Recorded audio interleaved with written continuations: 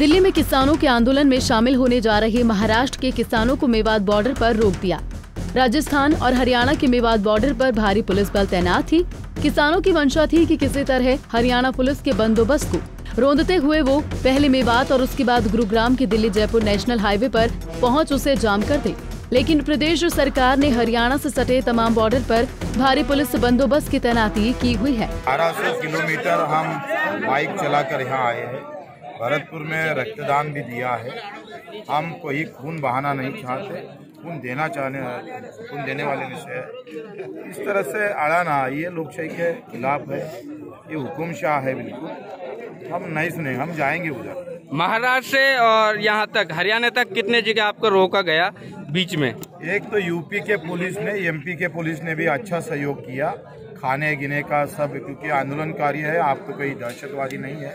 लेकिन यूपी और हरियाणा की पुलिस इनकी तानाशाही है। इन्होंने रोका है। कल तो हमको यूपी वालों ने इतना घुमाया। पहले बोले आगरा से जाओ फिर बोले भरतपुर से जाओ फिर भरतपुर से बोले तो नहीं अब ऐसा करो कामा से जाओ। ऐसा इतना घुमाया सब किसान ठंडी में बेचारे बैठे थे रास्ते पे।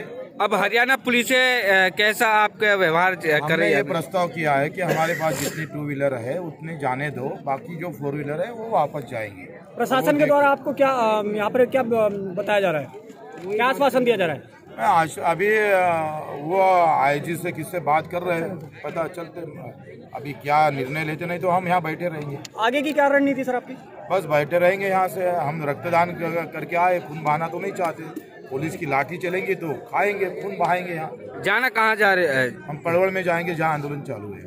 अच्छा। इस जो बिल के बारे में क्या कहना चाहते हो इसके? क्या है कि बिल के अंदर अभी आपका घर अगर बांधकाम शुरू करना है आपको तो आपकी राय लेंगे क्या बाजू वालों की लेंगे? जी सरकार किसान बोल रहे उस तरीके से बिल ला लाओ ये उनका हक है। जी, अब किसान जो बोलेंगे वो वो बिल लाना चाहिए। जी। ये अदानी और अंबानी जो बोल रहा है वो बिल ला रहे इतना फ़र्क है उसमें। तो क्या लगता है सरकार बिल को वापस लेगी? सरकार को वापस लेना पड़ेगा उनका बाप का राज थोड़ा है। जैसे क्या नाम है फार्मर किसान है इसके विरोध कर रहे हैं पूरे देश में और सरकार इसके खिलाफ है क्या कहना चाहते हैं? देखो हम अन्नदाता किसान है हम अभी रक्तदान क्या ये बिल आपने मांगा था सरकार से? हमने तो मांगा नहीं था हमने मांगा था पचास टक्के मुनाफा लेकर दाम दो। जी। मोदी जी ने पंद्रह टक्के भी दिया नहीं। जी। भाषण तो ऐसा किया कि वैसे सो हम। जी। ने मोदी जी अगर तुम सच देशभक्त हो जी। तो आपने कहा था साठ साल कांग्रेस के और साठ दिन मोदी जी के। जी जी जी। हम पचास टक्के मुनाफा लेकर दाम देंगे।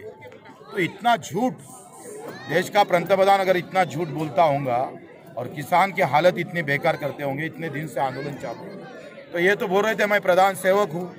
अगर पुनाना मंत्री ने हूँ सेवक कहाँ गए घूम गए पता अगर पुनाना पुलिस आपको यहाँ से जाने नहीं देगी तो आगे क्या रणनीति रहेगी आप बस यहीं डटे रहेंगे शांति से।